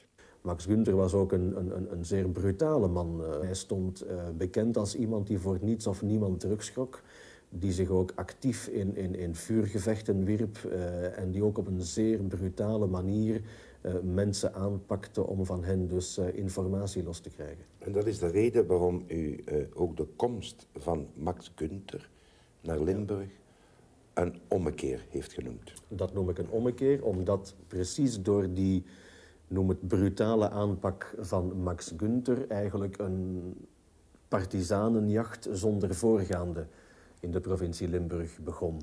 En zonder medelijden. En zonder medelijden. Max Gunther was iemand die uh, zonder pardon erin vloog, uh, voor wie één of twee doden helemaal niet telde. Hoor. Voor hem telde alleen maar het resultaat. Browns heeft dus op verzoek van de Limburgse VNV'ers gepleit bij Elias opdat de Duitse politiediensten actief zouden optreden tegen het gewapend verzet. En het is mijn zinziens zonneklaar dat via Elias om het hoofd van de Gestapo in België zijn vertrouwensman bij uitstek, Max Gunther, naar Limburg heeft gestuurd. Maar hoe verklaart u nu dat het VNV is gaan samenwerken met de Sicherheidsdienst, een afdeling dus van de SS? En nogthans had het VNV tevoren steeds voorgehouden dat het vijandig stond tegenover de SS. Nu gaan ze rechtstreeks medewerken met die SD. Inderdaad, het VNV lag politiek uh, overhoop met de SS. Maar anderzijds is het zo dat de Sicherheidsdienst eigenlijk in België de meest actieve Duitse politiedienst was. Vooral bij de beteugeling van het linkse verzet. Veel meer dan de Feldgendarmen of de geheime veldpolitie, dus de politie van de, van de militairverwaltung, was het de Sicherheidsdienst, de Gestapo in de volksmond, die het actiefste was in uh, de bekamping van het linkse verzet. Nauwelijks enkele dagen na zijn inzet boekte Max Gunther reeds een eerste winstpunt in zijn strijd tegen de Limburgse partisanen. Op de avond van de 10 januari 1944 waren immers vijf gewapende partisanen in een herberg de Genk-Waterschei binnengedrongen en hadden er de cafébaas Bernard Kolen en zijn Duitse echtgenote Elisa Peisman, beide lid van het VNV, neergeschoten. Maar de man kon voor hij stierf aan zijn dochtertje nog de naam doorgeven van een van de daders die hij herkend had. Het dochtertje is daarop naar een nabijgelegen uh, kazerne van de Vlaamse Wacht gelopen, die dan uh, op aanwijzing dus van dat dochtertje en de inmiddels opgetrommelde Sicherheidsdienst de daders hebben kunnen aanhouden. Eenmaal de Sicherheidsdienst zich met die zaak bemoeide, werden die daders uiteraard, het waren dus partizanen, zeer zwaar toegetakeld, fel geslagen, mishandeld, gefolterd. En aan de hand van die afgedwongen bekentenissen zijn de Duitsers er dan in geslaagd om een groot aantal partizanen in Limburg te arresteren. Een tachtigtal zijn er ongeveer opgepakt bij heel wat Duitse razzia's. En uh, eh, 24 van hen zijn uiteindelijk dan in Breendonk ook uh, gefusilleerd. De aanhouding van de vijf daders van de overval op de herberg de Genk-Waterschei bracht de Limburgse partizanen een zware slag toe en leidde bijna tot hun ondergang. Alvorens de partizanen Jozef Jordens, zijn broer Emile Jordens, Jules Kromme, Jan-Frans Dorissen en André Berman de 11 april 44 voor het Duitse executiepeloton verschenen, legden ze immers bekentenissen af die leidde tot de arrestatie van de compagniecommandant van de partizanen Mathieu Marting. Deze werd de 12 januari 44 te Zutendal aangehouden en hij legde op zijn beurt bekentenissen af. De verklaring van partizanencommandant Marting aan Max Gunther en de SD leidde op hun beurt tot de arrestatie van talrijke partizanen te Genk, Alken, IJsden, Vught, Mopertingen en Bilzen. Zo viel de SD op aanwijzingen van Mathieu Marting de 13 januari 44 de schrijnwerkerij van vader Alfons Nulens te Alken binnen, waar 25 kilogram dynamiet werd gevonden. Tevoren waren reeds twee van zijn zoons gefusilleerd wegens het doden van Rijkswachter Kerkhoffs, zoals u zich wellicht zal herinneren. Toen zijn ze dan gekomen om de... In 44? 44, om een man te vangen dan, zo gezegd. Maar zijn ze hier in Alken geweest en wij woonden in Welle. En toen is zijn broer hier kunnen ontsnappen. En die is ons komen verwittigen. Toen is mijn man kunnen ontsnappen. En toen hebben ze dan de vader meegenomen. Het is verschrikkelijk, maar ik zal me trachten kalm te houden. Zit je. Hier de eerste inval is, gebeurd op 13 januari 1944. Ja, de Duitsers, gestapo's, alles. Volgens ik vernomen gehad heb van mijn broer waren ze in twintig in getal. Ook Vlamingen erbij? Ja, de Gestapo, uh, Vlaamse Gestapo. Hier uh, van België zelf, hier uit ons landje. Ja, en toen uh, hebben ze mijn vader meegenomen. Die was onschuldig in alles. Die was niet met het verzet. Die zocht geen wapens, die gaf geen inlichtingen. Maar die hebben ze maar juist meegepakt omdat ze misgepakt hadden op mijn broer Jozef. Die ze niet hebben kunnen vinden? Nee, die hebben ze hier wel gepakt, maar die heeft kunnen ontsnappen. Ah ja. Ja, hij is door de venster gevlogen. Een schot of twee over zijn schedel weggehad. Juist of grasmaaid. Maar hij heeft het overleefd. Eén schot in de voet. Met over de hoofd te kukkelen en te, over de haag te vliegen. Ah ja. En wat is er met uw vader? Uh, zijn vader is de, door de Duitsers aangehouden? Ja, die is meegevoerd. En weggevoerd naar? Ja. Ik, ik heb vernomen hier in, in Hasselt en achteraf uh, En toen op Duitsland naar het kamp. Buchenwald, zoals ze mij altijd hebben gezegd. Mm. En de inlichtingen heb ik ook zo. Dat vader daar op het einde van de oorlog werkzaam ergens in een steengruwe, 20 meter diep in een steengruwe, doodgeworpen is. Doodgeworpen?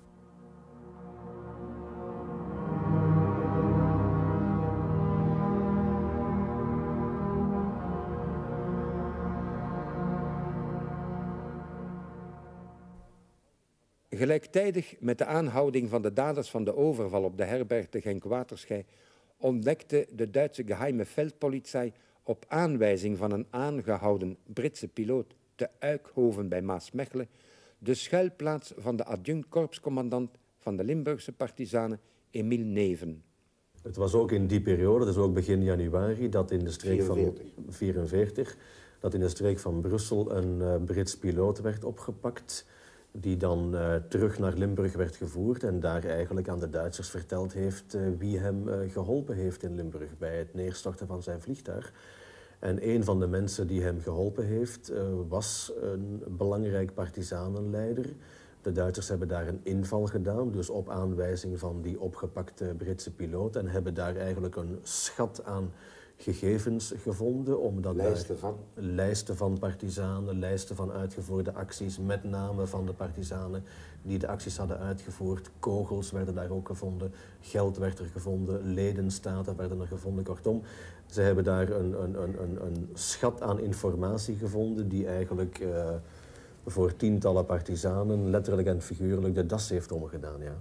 Verraad in eigen rangen was eveneens de oorzaak ervan dat tijdens de eerste maanden van 1944 tientallen Limburgse partizanen werden aangehouden. Uh, een geval van het doorgeven van namen is uh, dat zeer uh, flagrante, tragische geval van een koerierster uit de Maastreek die erin geslaagd was van de schuilplaatsen eh, van weerstanders, hoofdzakelijk partisanen, OF-mensen, te kennen. En die die, uh, die adressen doorgespeeld heeft aan de Gestapo. Mia was haar codenaam, was haar schuilnaam. Die aan de basis ligt door haar verraad aan de Duitsers. Die aan de basis ligt van de arrestatie van zeer velen. Nu, de partisanen zelf zijn er achter... was ze maar één dag opgesloten en ze heeft al het nodige verstrekt, hè? Zij is amper één dag vastgehouden. Er is ook niets bekend of ze gefolterd is, helemaal niet. Ik denk dat zij één van die voorbeelden is van, van, van verzetsmensen die erg vlug uh, door de knieën zijn gegaan met catastrofale gevolgen van dien voor de anderen van de groep. Die koerierster die heeft me waarschijnlijk niet gefolterd. Haar vader die was betrokken geweest uh, in een smokkelaffaire. En die was zo in handen van de Duitsers gekomen. En uh, hoe dan de zaak verlopen is tussen die koerierster en de Gestapo, daar was ik niet bij, dat weet ik niet. Maar een feit is dat die koerierster de namen doorgespeeld heeft uh, om haar vader vrij te krijgen uit de gevangenis.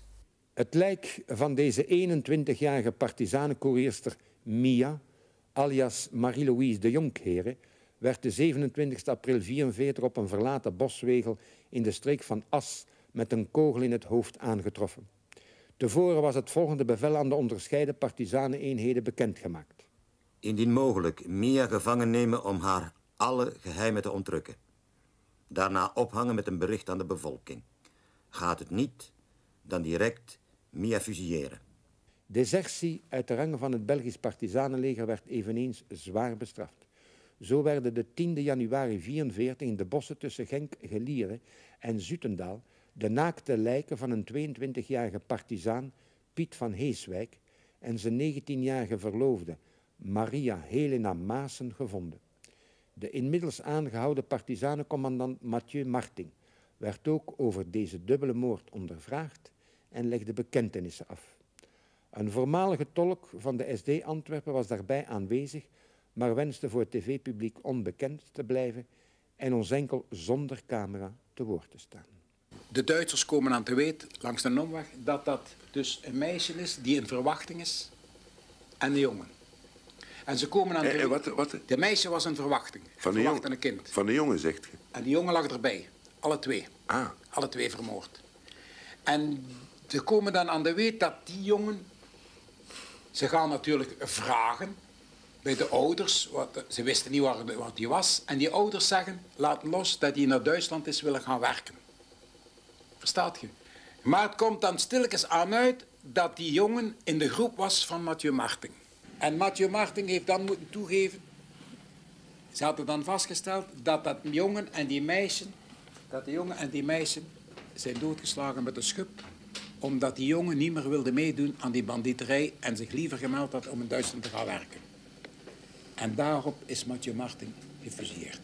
De jongen had afgesproken met zijn meisje die een, kind verwacht om ze nog eens te zien voordat hij in Duitsland ging werken. Ze zijn daar dan naar weet gekomen, zijn nagaan, hebben ze doodgeslagen met de schub, rap, rap onder de grond gestoken.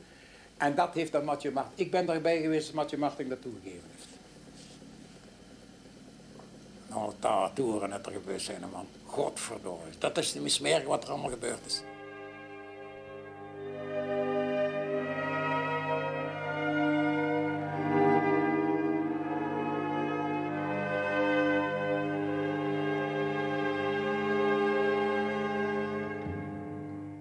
De 23 januari 1944 betuigden de Limburgse VNV'ers ter gelegenheid van een plechtige dodenherdenking te Hasselt hun dankbaarheid tegenover hun leider Elias.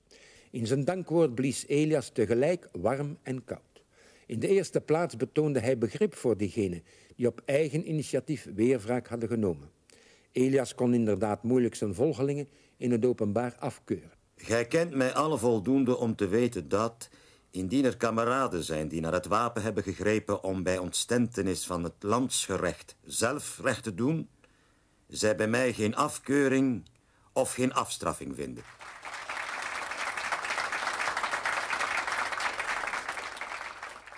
Maar vlak daarop waarschuwde hij voor het principe van oog om oog, tand om tand.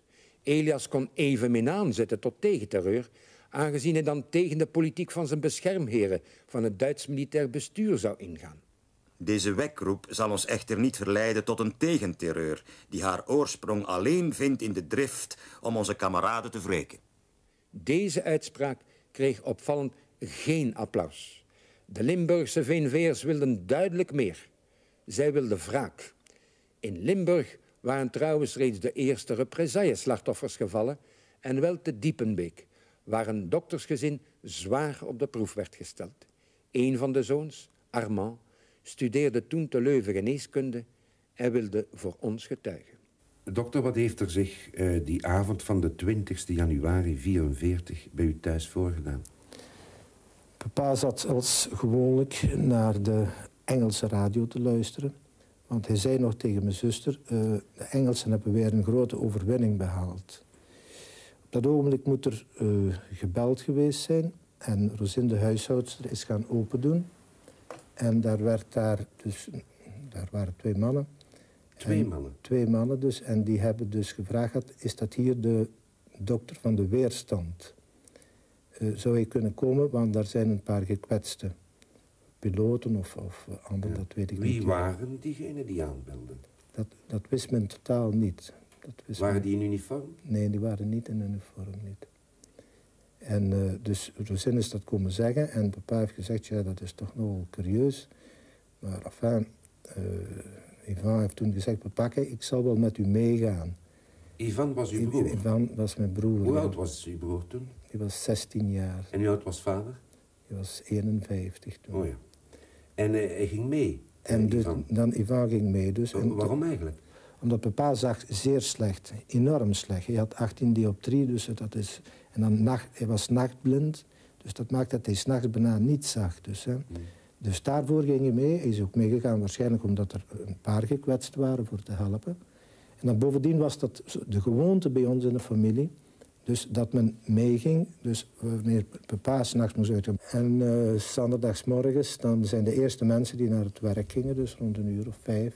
Die hebben hen dan beide aangetroffen, bezijden van de weg. Dus beide dood. Dus langs de weg liggend. Dood? Dood. Waarvan? Dus uh, ja, door, geschoten door kogels dus, uh, waarvan ik daarna vernomen, vernomen heb. Dus dat papa een drietal kogels gehad had in de nek. En, uh, en dat Ivan twee kogels gehad had, plus dan nog een nekschot. Mm -hmm. Ze moeten wel op slag dood geweest zijn. Die mannen gingen met hen mee, die twee. Dus die stapten met hen mee, vertrouwelijk. En dan op zeker ogenblik heeft ene geroepen gehad, opzij. Want anders natuurlijk, dus dan vielen ze ook in de kogels van, die, van andere mannen... die dus in de gracht verborgen zaten. Toen zijn die uit de gracht gesprongen en die hebben geschoten. Uit dat gerechtelijk onderzoek en uit het proces... is dan gebleken wie die mannen waren die hem hadden doodgeschoten? Dat waren dus uh, Vlaamse wachters. die waren gelogeerd op het kasteeltje van Pietelbeek, kort bij Diepenbeek. Dat waren dus Vlaamse wachters. Dat waren mensen van zeer laag intellectualiteit dus, ja die beweerden dat ze zich zat gedronken hadden. En dat ze dus onder invloed van, van ophitsing en, en, en dus uh, propaganda... er gezegd wordt, dat moet een einde gemaakt worden. We moeten ergens iemand treffen van grote waarde. Iemand die niet zodanig als weerstander bekend is... maar die in een dorp alles vertegenwoordigt. We moeten het dorp treffen. Je kunt een dorp in zijn geheel niet treffen... ofwel moet je het uitroeien gelijk Oradour... Dus men dacht, als we zo ene persoon kunnen neerschieten... Een vooraanstaande. Een vooraanstaande. En men dacht daardoor dus een terreur te scheppen... die dus een geweldige indruk zou maken op de mensen... en die hen zou doen nadenken van het vervolg niets meer doen... en van braaf te blijven. Men heeft de incarnatie van het morele verzet willen treffen. Dat heeft men, dat, inderdaad. Dat is zeer juist, ja. Maar heeft hij dat... Uh, uh, heeft hij in het openbaar uh, en veelvuldig uiting gegeven aan zijn afkeuring voor het nationaal socialistisch regime en de collaboratie? Permanent. Hij was daar... Uh, als, hij, als hij de enigszins de kans had, dan kwam hij daarvoor uit. Hij zei dat ook bijvoorbeeld op de speelplaats, te midden van de onderwijzers, wat zeer belangrijk was. Want er waren er veel die daarvan gecollaboreerd hadden. Had u een, uh, een speciale relatie met uw vader? Ik geloof dat uw moeder uh, al geruime tijd overleden was. In 1928, ja. ja. Dus ik heb het nauwelijks... En was dus, de, kinderen, de drie kinderen waren dus alleen met vader. Ja. Uh, was er daardoor een speciale relatie ontstaan? De relatie was een, een enorme uh, vader-zoon relatie. Hij wijde me in in al zijn geheimen dus. Hè. Ook in zijn intiem geheimen wijde me Er waren dikwijls grote psychologische problemen. En daar hield hij mij van op de hoogte. En daar heb ik hem raad in gegeven. En die, dikwijls die hem zeer ten goede gekomen zijn. En waar hij voor mij zeer dankbaar was. Dus de relatie was niet alleen een, een geweldige liefdesverhouding... maar ook een, een verhouding van, van vriend en van vertrouwen. Hij was uw vader, was hij ook uw moeder? Ja. Hebt je uw vader en uw broer gezien toen ze vermoord waren? Nee, nee ik heb geweigerd van ze te bezien. Je hebt geweigerd? Ik, ik, heb geweigerd omdat ik, uh, ik wou het beeld van hun bewaren. Ik kon me voorstellen toen ik dat hoorde van die kogels en zo... dat ze vreselijk moesten verminkt zijn. En ik wou dat beeld niet in mijn, mijn kop hebben. Zo wou ik niet verder door het leven gaan. Ik wou een, een, geest voor me hebben, een, een, een fysionomie voor hen hebben... gelijk ik ze gekend had. En daarom heb ik ze niet gezien.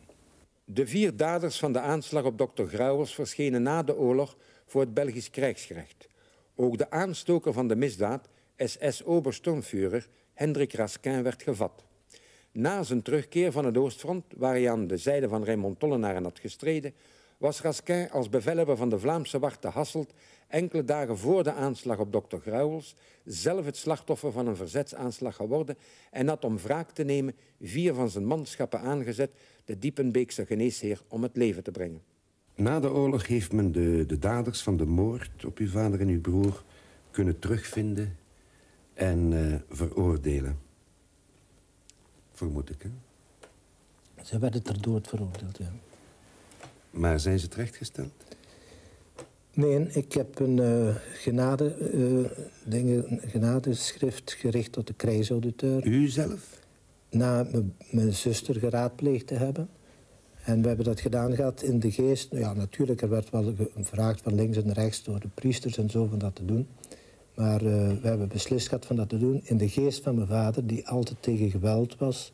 En we vonden dat we geen betere, niet beter zijn geest konden eren dan met dat te doen. Dus u heeft de krijgsauditeur om genade gevraagd van de moordenaars van uw vader? Ja, van de doodstraf om te zetten in levenslang dus. Is dat dan gebeurd? Dat is gebeurd, ja. Werden de daders van de aanslag op dokter Grauwels tot levenslange hechtenis veroordeeld, dan hebben beide overblijvende kinderen van de vermoorde geneesheer het na de oorlog zelf moeten klaarspelen. Hebben de twee overblijvende kinderen eh, na de oorlog dan geen financiële tegemoetkoming gekregen? Nee, absoluut niets. Dokter, uh, denkt u nog veel terug aan die tijd? Ja, enorm veel, ja. Zodanig dat, dat is nu 40 jaar geleden zeker praktisch, dat ik elke nacht nog droom van mijn vader of van mijn broer. Die zijn permanent zijn die in mijn leven gebleven. En wat mij vooral, dus ik heb geen wraakgevoelens gehad, nooit, nooit, geen enkel moment. Maar wat me bijgebleven is, dat is een, een enorm gevoel van onrechtvaardigheid dat er gebeurd is. Ik kon niet begrijpen dus dat men zulke rechtvaardige mens, dat men die moest doodschieten. Dat was onherstelbaar, maar ik heb die onrechtvaardigheid heb ik nooit niet kunnen verwerken. Niet. Dat is me bijgebleven. Daardoor ben ik zelf ook psychisch ziek geweest. Heeft u nog uh, angstgevoelens gekend? Nog veel later? Ja, en die heb ik nog altijd, ja. Waarvoor dan? Ja, dat er zo van die onverwachte zaken kunnen gebeuren. Ik, ik heb nooit geen, geen echte zekerheid meer gehad. Ik heb altijd gedacht, ook wat je, wat je doet, wat je verwezenlijk hebt... dat kan op zo'n korte tijd kan dat totaal ineenstorten. Tegen de partizanen die de VNV-onderwijzer Peumans om het leven brachten... werd na de oorlog geen vervolging ingesteld. Als erkende gewapende verzetslui werden deze immers door de naoorlogse Belgische amnestiewetgeving gedekt. Voor de echtgenoten en vijf kinderen van Peumans betekende het einde van de oorlog echter nog niet het einde van hun lijdensweg. Hebt u ook toen nog als veertienjarige geen last ondervonden van het feit dat men uw vader als iemand uit de collaboratie had beschouwd? Wel, ze zijn dus bij mijn oom geweest, die eh, dus eh, op de boerderij hier een herder was. Dus dat is de broer van mijn vader. Eh, en daar zijn ze dus... eh Komen zoeken naar u? Komen zoeken. We gingen omstreeks half tien slapen. Ik en mijn moeder samen. Op, toen hoorden we opeens een gebonk. Ruiten werden ingegooid. Rolluiken kapot gegooid. Deuren ingestampt. Er werden met brokken eh, stenen gegooid van de omheining voor langs de straat. De, grillen die werden door de vensters gegooid. Eh, wij zijn onder het bed gekropen. We hebben hulp geroepen.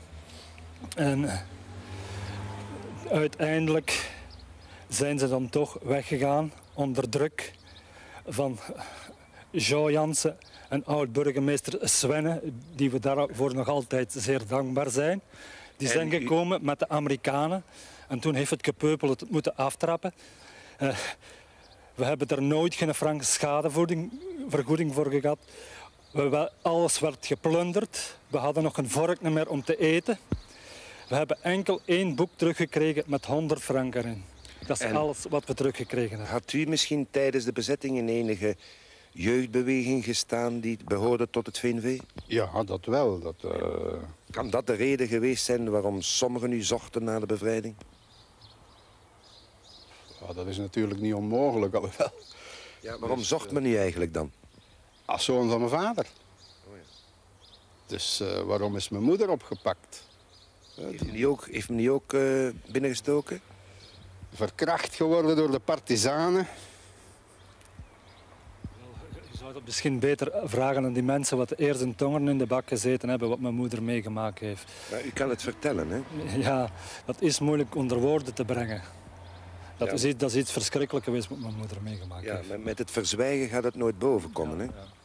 Wel, ze hebben haar verkracht gehad. Ze hebben haar naak op, op een draad gehangen gehad. En allerlei beestigheden ermee uitgehaald. Was het zo vreed dat u het niet kan vertellen? Nee. nee. Als u daaraan terugdenkt, aan die gebeurtenissen uit uw jeugd, welke bedenkingen hebt u daarbij?